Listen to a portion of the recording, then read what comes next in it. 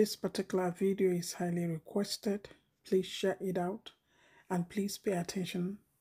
So, for those people that are asking me how long they are going to take the ginger, bitter kola, and garlic, I'm going to explain. Now, for somebody that doesn't have any problem at all at all, you can take the three in one occasionally. It means you don't have any issue at all. Now, for somebody that is having one issue or the other, all right, you don't take it once and you expect a result.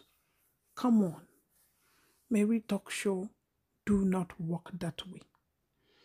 Now, you might take it um, for a week before you start seeing result.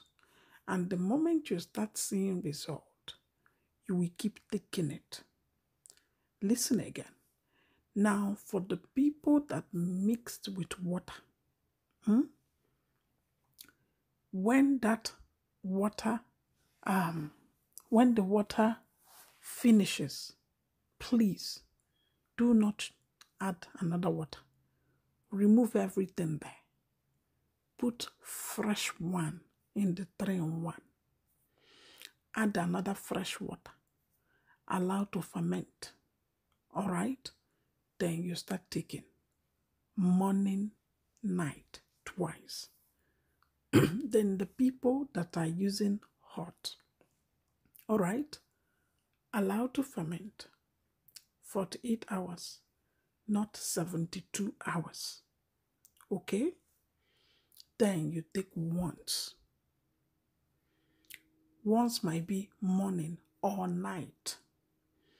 Now, because you already have one issue or the other, remember, you will not take medication. Oh. Then you will take this continuously, all right, for a space of three to six months. When I mean three to six months, I'm not seeing that particular one you are taking. Remember, if you are using hot, once the hot finishes, you can replace another one. So the people that are using hot, you replace the hot without removing the garlic, ginger, all right, and um, bitter kola. Is that okay? Then, for the people that are using water, you replace the water, you replace the garlic, ginger, and bitter kola. Do you people understand it now?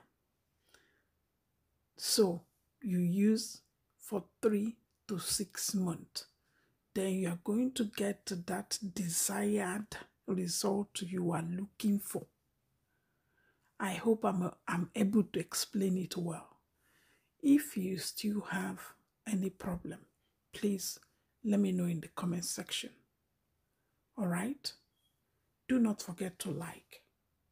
Do not forget to share. Mary Talk Show. Bye, guys.